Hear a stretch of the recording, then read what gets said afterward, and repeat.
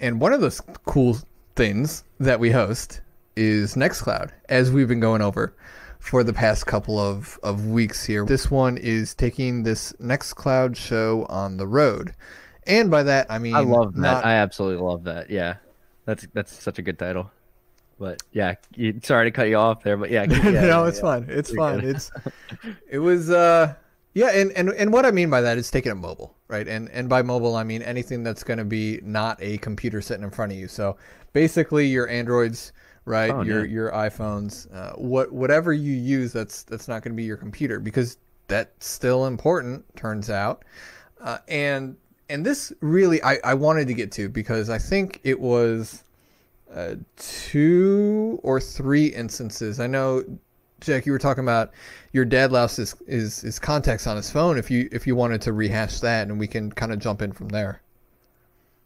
Yeah, it was um shoot, I forget. I think he was either getting a new phone or he was doing a major upgrade on his phone and something happened where he lost all the photos, every single photo he had taken on his phone. So he lost photos and contacts. Yeah, I, I'm thinking of two separate. I'm thinking of two separate instances here. He's uh, okay. The guy has lost both. let me let me go back here. He okay. So I'm thinking of the photos instance where he accidentally deleted like a shared drive or something that he had, and then sure enough wiped wiped it like wiped it from NFS, and he's just like, oh crap, and he's like, wait, I think I have backup somewhere, and sure enough, some like There you go. lo and There behold, it was like they're like some third party providers like, oh yeah, we have that data here, and he's just like, um, can I get that back? I didn't even know you had it. but um, the phone situation was he was upgrading his phone. He was switching to a major version release, and essentially what happened was when he switched, he added a new. I think it was CalDAV or Con. You can in the iPhone. I think you can add a new mailbox. Essentially, is what it is.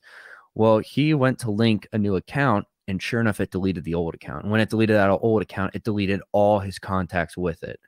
So, luckily for him, he did have he he, he did have some kind of backup situation in place with that, um, where he was able to retrieve most of his contacts. But you know, some of them were just gone. Ended up he ended up losing forever. They were just gone forever. So what I've started to do is I on my I have a board, I have a Kanban board, I have my little Kanboard out there.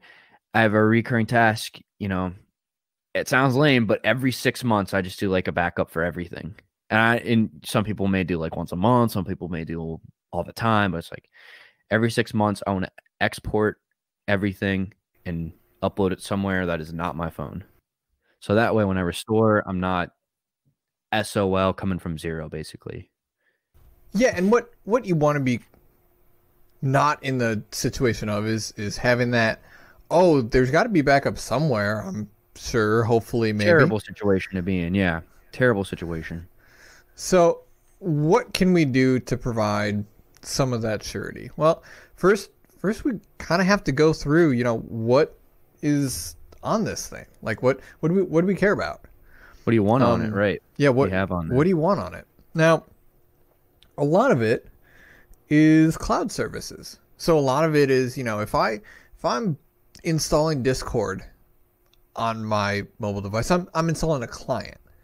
I'm installing a client that talks to a service, a software as a service in in the cloud or, or on the web where I don't need to necessarily be concerned about backing it up. That's that's something I would log into with credentials and my information is going to be there. Different kind of security posture, uh, what you want to back up from there. Like if someone were to send you photos to have backed up, uh, but it's not going to be something that you're going to sync from your phone. Uh, what you're what you're going to want to be interested in syncing from your phone is is a couple things, um, and and Nextcloud actually lays it out really well because they have different applications for different functionality. So to start with, one. Exactly. So to start with, they have their official Nextcloud application, just branded Nextcloud. Boom, they're done. Uh, that is namely for files and photos. So the, the blurb here is that the official Android application manages files and synchronizes them back to Nextcloud server if it's set up to do so. This also allows for autosync of folders and locations on the device. Uh, so let, let me just let you know how how I use this, right? So uh, there are a couple things that I really only do through my my computer, right? And and uh, image manipulation and touch up is is one of those things. I'm not sure. necessarily installing a full GIMP instance on on my phone to to do touch ups and and uh, editing and cropping and, and what have you. So when I'm taking pictures from my camera, they got to get transferred onto my computer somehow, and I can do that over the wire, right? If I need to. Uh, the easiest way though is, if I'm being honest, just throwing them up into my Nextcloud instance, and I can download whichever ones I want right? Okay. So do they sync automatically up from the so mobile that's, app? That's that's okay. not set up by default, right? Okay. So there's yeah. there's a couple ways you can set this up. Now there are tons of files on your Android phone. I don't know if you've ever gone through. Um, I know you even have an iPhone, so you may not have had the ability to yet. But there are a lot of different directories and folders and file structures on on a phone, right? Nextcloud can walk through all those and determine which ones you want synced, auto synced up to your Nextcloud instance. Um, now, actually, specifically for photos, that is probably my favorite in, example to go to and, and just say, look, you don't want to lose any of your photos, right? And if you don't have them going anywhere else, then they only live on your phone. And if they right. only live on your phone, you might as well not have them, right? Because the minute that phone gets dropped in the toilet, you're screwed. Right. Right. Right. So, or get snow on it like we had today for some dumb reason. In the middle of, yeah. Okay, in the yeah. middle of, of April. So the easiest way is just to auto sync anything that gets put into that directory, which if you take a picture with the camera on your phone, it gets thrown in that directory. So you send that right up to Nextcloud, and then you can figure out what to do with it as well. Um, now, there's also additional functionality you got to think about, like do you want stuff uh, removed locally if it's removed on the Nextcloud client? Then your Nextcloud client becomes your hub of file management. You're right. like, if I want to archive all my files and, and free up some disk space on my phone, because over you time, can. yeah, you can. You can. You can. Right. You so, just delete it right off the phone, and then guess what? You still have a copy of it. Exactly, exactly. So that's that's the easiest way to to manage that I found. Um, and there there are, are plenty of other things that I've I've used to sync up or sync down. Like there are actually there was a there was a series that I threw up on my Nextcloud instance, and I just downloaded one video at a time, yeah. and I was I was watching it offline as I was um, traveling Going through it. Yeah, right. Yeah. Because it's like I don't want to use a connection and wait for wait for the stream to buffer and yada yada yada. Let me just let me just download it. Let me just have it right? And that was an easy easy way to transfer it over to the phone. And and really that could be throughout any device. And and that really comes in handy when i start considering my laptop too right? Because if i'm recording something on my laptop, right, and I want to send it here, there, or anywhere, I really have two options, right? Either I use an application to talk to someone, so like you, when I'm when I'm uploading files to Element, right, I could I could throw it there. But if I have to use it on literally anything else, right, I need the actual file, right? right and and right. to do that, the easiest way to to keep it is is to throw it in Nextcloud, right? So and and then my phone also gets access to it. Easy peasy. I mean, it's that's by default. That's it's that's a win-win, there, right? right? So that's their official application that manages all of that. The next and and possibly most important, but also most convoluted, is their contacts and calendar, right? So so the calendar for Nextcloud can be synced down to the native Android calendar by way of the CalDAV protocol. The easiest way to do this is by downloading an application to do that, and that's DAVX and use it to log in and sync one or more of your calendars that are in your Nextcloud account. Now, you and I talked about last episode how you keep multiple different calendars all synced up to your Nextcloud account, right? And right. I kind of give yeah. a little little sneak peek of that's how I get everything on here because I can choose which ones I want on my Nextcloud account to sync back to my phone. And then it's it's easy and and actually that's native to the Android phone. So I can use any kind of application. I can use uh, any kind of scheduling process or add or remove stuff like I would to any other calendar through my Android device. And, and that just makes it easy. It makes it native. It makes it natural. Um, and then you know, in integration done by the developers, like I said, it, it, it, works natively with the official Nextcloud application, and that's that's true of contacts as well. Uh, so you're talking about on your iPhone, and we're going to hit that up in a in a second here, but but Android will have that too, and I did link to the instructions on how to work with Nextcloud. That's actually through the DAVx5 site. So that is uh, on the on the show notes page. That or on the excuse me on the documentation page. Uh, that'll lead you right to going through uh, syncing and, and and all those other options really. And I don't know if you're someone who likes tinkering with options. I, I, I have said before, but I like going through and, and changing whatever I can and, and you know being being the little puppet master, uh, figuring out everything I can I can switch. Editing every any configuration possible, basically. Oh, we know, we know. but if you just want to, you just want to set it up and use it. That's that's where you're gonna go, and and uh, you'll be off to the races. And and really, that's just made my life super easy because it it's not only my Nextcloud calendar, it's not only my work calendar, it's also my Kanboard calendar. Uh, it's it's also my email calendar. It's it's anything I want is right there in front of me. So that makes that makes everything easier. Um, the last one I wanted to touch on was bookmarks.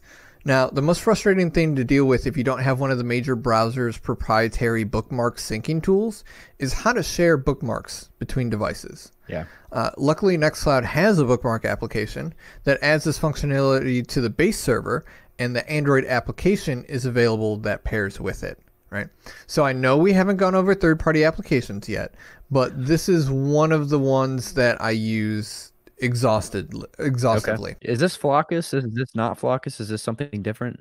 So the browser extension uh, for Chrome, for Firefox, gotcha. for whatever is gotcha. Floccus. Yeah. Gotcha. So, but the the official application is just called Bookmark. Just called Bookmarks. Okay. Yeah. Yeah. So yeah. it's it's super easy to find and install, and I believe I do link to the Nextcloud application in the documentation. Um, so that's there. And the the Android application uh, is as well linked. So that's that's an easy install. Uh, my one gripe with it is that it doesn't show a folder hierarchy like you would assume, like every right. other bookmark manager does, like Nextcloud does, and Floccus does. But like the Android application is just like a flat, like a here's here is yeah. everything just yeah. a long list oh man i'm like why why would you do that? Like what yeah. what is your design decision that you're like no of all the things i'm gonna not implement it's a folder it's structure. folders a folder structure. I mean it's it's easy enough to search if you don't have you know 500000 of them but still it's it's it's frustrating. Now you can't There's... organize it by tags um, oh, so if you want to tag all your folders like that's a way to do it. Not my not my preference though. A lot of a lot of I mean, we've had this discussion before. Searching by tags, searching by hierarchy, you know, organization. It it accomplishes the same kind of I need to organize it somehow in two distinctly different ways. Right. Uh, with two distinctly different philosophies on w- how how should organization be handled all right and and they've gone the tag route and i'm like all right that's fine i'm just gonna i'm i'm not gonna use that I was wondering, Jack, what's your experience been with any of the iPhone uh, applications? I have the official contacts and calendar is just uh, I don't know if you've I don't know how it is on the Android phone, but contacts and calendar is basically syncing via CalDAV, which I did have. So I can get the calendar, no problem. Calendar is easy to sync. Now the CardDAV, I have. You can sync it with Nextcloud, and I haven't done it yet. All my, unfortunately for me, all my contacts mm-hmm. are linked back to an Outlook account. So what I had to do, so I had so I have to go into Outlook, and Outlook makes it. Who would have thought they make it difficult to get off of, right? So you can ex you can export everything from Outlook, but it's in a CSV. So you have to go out. You got to get pretty techie with this one. You have to go out to GitHub. And there's this project out there that says it's like a CSV to CalDAV or CardDAV. Yeah, card, CardDAV count yeah. is contacts CardDAV you have to go out to GitHub. You have to grab this project, and it's CSV to CardDAV, and you basically take. You have to link, you know, which row goes to which item in CardDAV. Um, kind of a PETA, you know, you know, kind of a huge pain, but um, it's doable. I'm not going to sit here and say it's not doable. Now bookmarks, I have not seen an app for that. I have not messed with that one at all. Um, the official app's fine. It you know it's like it it's the official application for Nextcloud. It feels like you know it's a mobile version of what's kind of already out there. Now, the one thing I do like is being able to download files and have them locally, kind of how you mentioned earlier. For I guess series or any kind of MP4, you can download it and have it on the go instead of using data and going directly back to your Nextcloud site. Yeah, I linked to the bookmark application page in iOS, and I'm actually going to change that because I thought I'd link to their next bookmark, which is their iOS application for bookmarks. So it does exist. It is on the App Store um, and and available. And like we said, I mean, we haven't gone over third-party applications yet. This is the kind of stuff that we're going to be diving into pretty heavily once once we get into that that realm of what can you really eke out of a Nextcloud instance and and this is this is just a taste of, it, of it you know and this this little functionality that I found indispensable in my day-to-day life. I mean that's this is just how I use it. Yeah, I didn't even know that uh, Next Bookmark application was out there, so I'm glad you did mention it. I was like, "There's got to be, there's got to be one. How can you not have?" So yeah, I was, I was happy to find it at least. Uh, but that's really all I wanted to go over with with mobile. Um, now there's there's a lot more to it once you start diving into how do I get it set up? What preferences do I want to use? Right, and if that's your concern, right? The the thing you're going to want to do is have a sit down with us, and then we can say, hey, look, this is this is the options you have, right? Uh, especially if you have concern about keeping your contacts backed up, or making sure that your photos are always available, yeah. right? Um, if, if if stuff like that is concerning you, then we sit down and we say, all right, here's here's your step by step to get you set up and ready to go with your new Nextcloud instance from OurCompose. So that makes it that makes it easy, uh, and then we can do that um, we actually offer uh, one consultation, right, with with any given instance. So once once we kick that off, right, then we can then we can offer other ones uh, as well, and and we can we can go through that with you. Uh, we can we can walk you through that process.